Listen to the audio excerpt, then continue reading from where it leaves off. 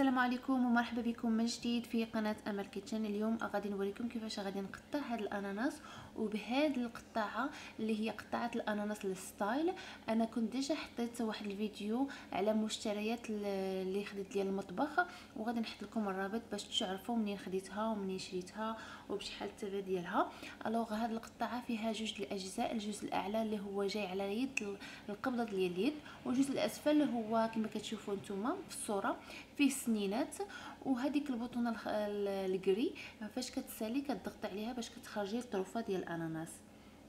غادي ناخذ الأناناس دابا وغادي نحيدو لهداك الفوق الفوقاني ديالها أو الطرف ديال الراس ديالها. وغادي نجيبو القطاعه ونحطوها في المنطقة في الوسط. آه كاين واحد البلاصة جاي آه بحال الشكل ديال العظم وإنما هو ماشي المصطلح الصحيح ديال العظم بالأناناس وإنما ما لقيتش شي مصطلح آخر. Anyway غادي نضغطو في نفس الوقت حنا كندورو كنضغطو حتى نوصلو لرقم ثلاثة وغادي نشوفكم من غادي نوصلو لرقم ثلاثة.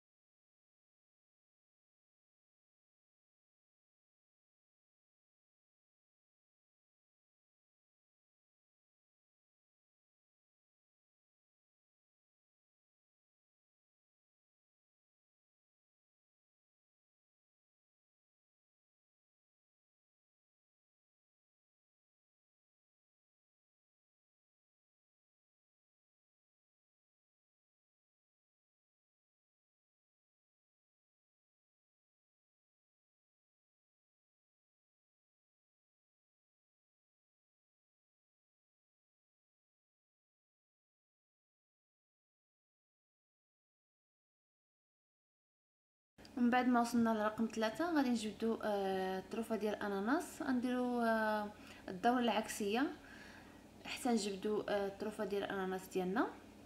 هانتوما كما كتشوفوا الطروفه ديال الأناناس خرجوا والشكل ديال الأناناس يعني الغشا ديالو أو القشرة مع داك العظم الوسطاني وكيبقى شوية ديال العصير من الداخل وهذه يمكن لك إنه تحطيها كديكور تاخدي ديري فيها مجموعة الفواكه طروفات الفواكه مع الأناناس آه، شكل جميل جدا.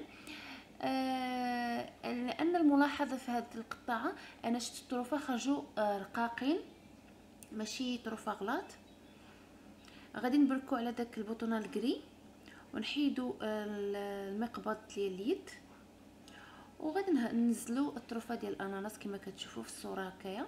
وأنا كما قلت لكم راه هما الطروفة كيجيو شوية رقاق ماشي غلاط ناخذ واحد الطريف. يامي.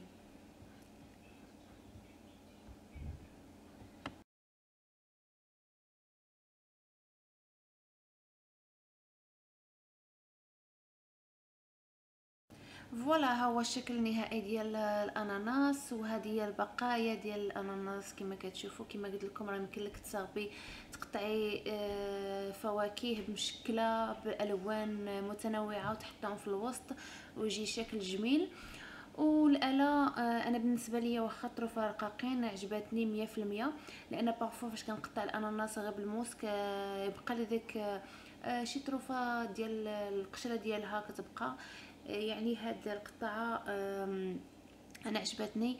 أه، تنشكركم على المشاهدة ونشوفكم إن شاء الله في حلقة مقبلة من أمل كيتشن.